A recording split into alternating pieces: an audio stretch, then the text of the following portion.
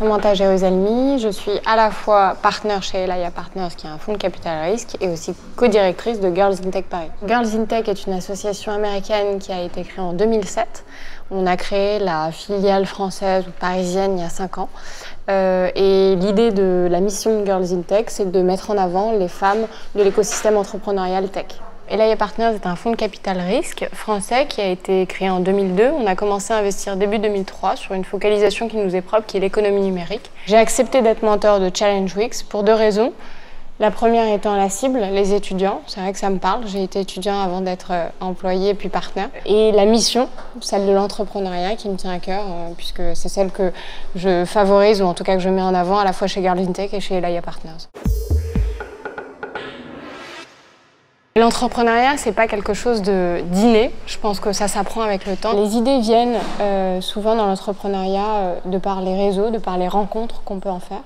C'est souvent un duo d'entrepreneurs, un, trio d'entrepreneurs ou d'entrepreneuses. Des femmes dans tout ça, euh, bah, on a la chance d'avoir des réseaux de femmes. Alors Girls in Tech évidemment, mais Girls in Web, les Duchesses. C'est des réseaux pendant lesquels on peut rencontrer ses pairs, ses pairs entrepreneuses, ses pairs développeuses, ses pairs codeuses, euh, ses pairs marketeuses, euh, qui permettent bah, de créer effectivement ces premières équipes fondatrices. Aujourd'hui, qu'est-ce qui fait qu'on passe d'une idée à l'acte? Euh, c'est effectivement le fait qu'on ait trouvé une équipe et ensuite qu'on l'ait testé auprès du marché. Et c'est à ce moment-là qu'effectivement, il se rend compte qu'il y a un marché. Euh, c'est à ce moment-là qu'on va voir la concurrence aussi pour comprendre à peu près quel positionnement on peut avoir par rapport à notre propre produit et savoir si on a une vraie valeur ajoutée, une vraie barrière à l'entrée par rapport à l'existant. Et par rapport aux femmes euh, à proprement parler, aujourd'hui, il y en a toujours moins que les hommes, mais il y en a toujours plus qu'hier et encore plus qu'avant-hier, et il y en aura plus demain, et c'est ce qu'on espère avec Girls in Tech. Je recommande à tous les entrepreneurs et les entrepreneuses qui s'essayent qui veulent s'essayer de tester leur idée sur le marché auprès de leurs euh, futurs clients. C'est la seule chose qui vous permettra de savoir si votre projet, votre vision a une vraie valeur sur un marché et si elle va pouvoir être valorisée? Chez Elaya, aujourd'hui, on reçoit à peu près euh, entre 1000 et 1200 dossiers par an et on investit dans 6 à 8 boîtes par an.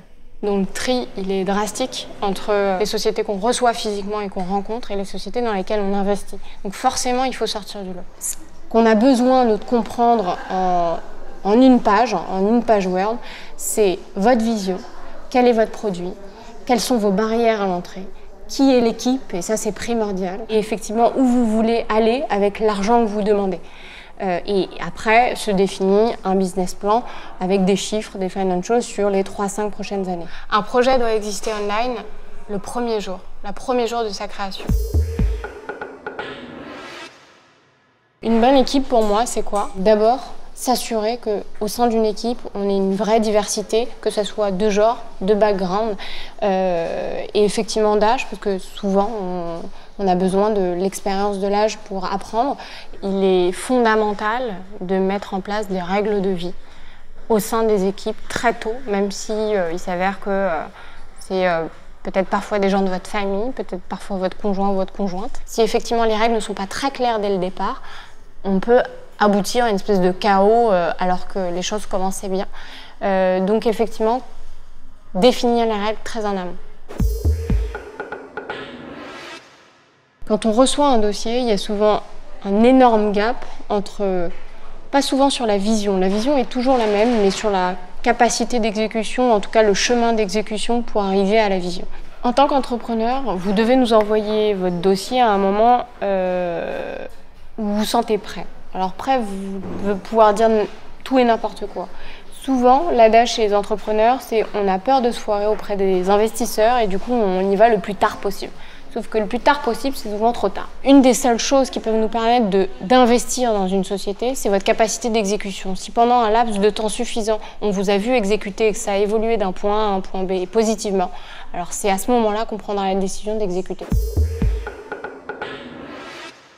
Un conseil pour nos entrepreneurs et entrepreneuses, euh, comme disait Schumpeter, entreprendre, c'est changer un ordre établi. Et je pense qu'entreprendre en tant que femme, c'est tout changer. Du coup, entrepreneuse, s'il vous plaît, disruptez le monde digital.